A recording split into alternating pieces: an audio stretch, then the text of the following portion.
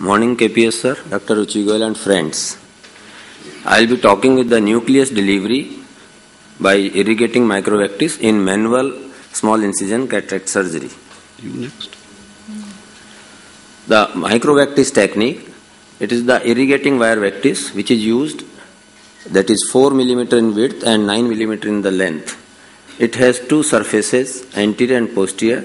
The anterior end has 3.03 millimeter openings. The vectis is attached to the infusion set on the posterior side and the nucleus is prolapsed into the AC. After that, viscoelastics is injected both above and below. Vectis is insinuated below the nucleus and infusion started. The flow through the vectis generates a hydropressure for engagement of the nucleus into the section. Once the nucleus gets engaged, the surgeon brings the vectis out along with the nucleus while pressing the posterior lip of the tunnel so that it comes out very easily. The pressure on the posterior lip of the tunnel guides the nucleus out. The alternatively, the vectis can be attached to a 5 mm syringe containing BSS, which sometimes more handy and more easily controllable.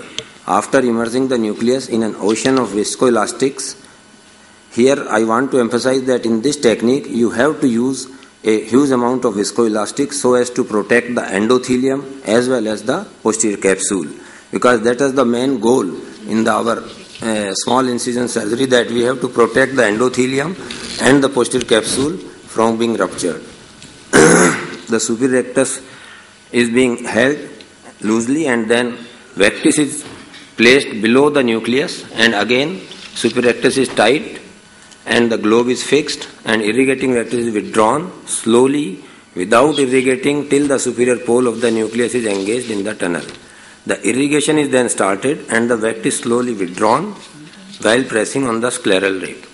The force of irrigation has to be controlled and reduced when the maximum diameter of the nucleus just clears the tunnel. That is very important. Otherwise, it will come with force. So this step prevents the nucleus from being thrown out forcefully and with consequent sudden decompression and severing of the chamber sorry and the posterior capsular tear.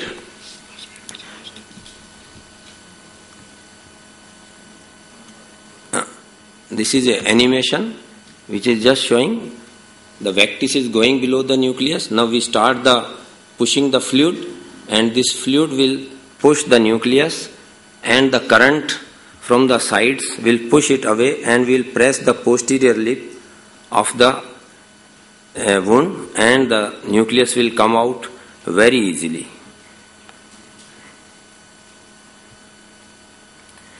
The scleral pockets also helps in taking out the nucleus. You have seen the uh, Dr. Dharmendranath technique and uh, must have seen the fish hook technique and there are so many techniques. Mesmerizing looking so easy but these are being done only by the few people.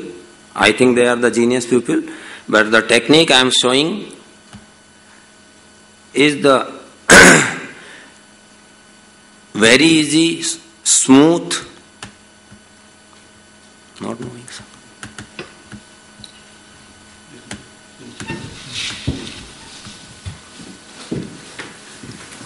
And this is the microvectis technique. I want to tell you that it is easier, very smooth, reproducible technique, can be done by a average surgeon and can be done in all types of nucleus, whether it is a soft nucleus, brown nucleus or white cataract.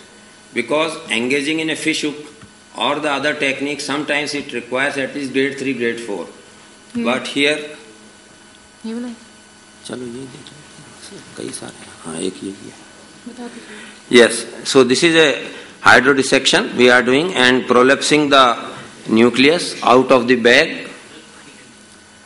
and it can be done without the Sinskey hook you can do with the visco cannula also and it can be taken out of the bag into the anterior chamber just pushing a huge amount of viscoelastic methyl cellulose dispersive one and very safe very cheap also you can use.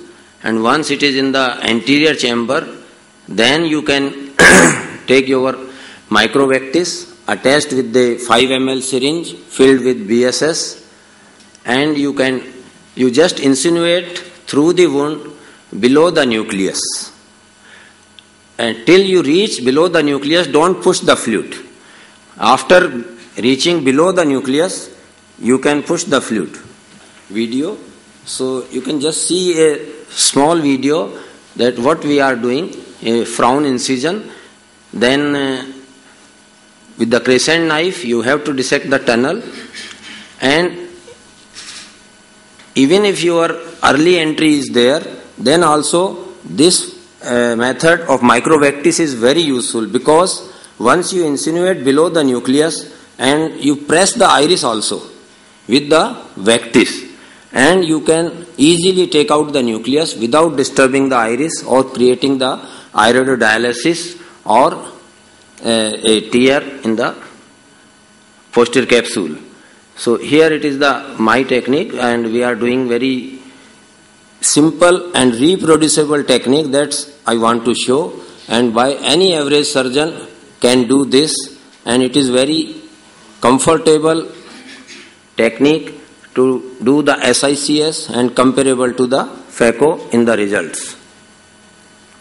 But here I want to show that the rhexis should be a big one. It should be more than 6. 6 millimeter minimum should be there. A little hydrodissection and the nucleus will be prolapsed. One end is prolapsed and in the now you insuate and take out the nucleus so easily. Very easy to take. That is the advantage is that only a single instrument is used inside the anterior chamber, so you have to disturb least possible. Easy and faster delivery of the nucleus, suitable for the delivery of both soft and hard cataracts, specially useful in cases of premature entry in the tunnel and superior zonular dehiscence. The disadvantage are very few, but you can overcome those. These are the iridodialysis while the vectis is being inserted, crushing the inferior iris between the vectis and the nucleus if vectis is not positioned properly, endothelial damage if chamber is not kept sufficiently deep during the delivery because you have to push the visco below the nucleus as well as between the cornea and the nucleus. That is the time. Thank you very much.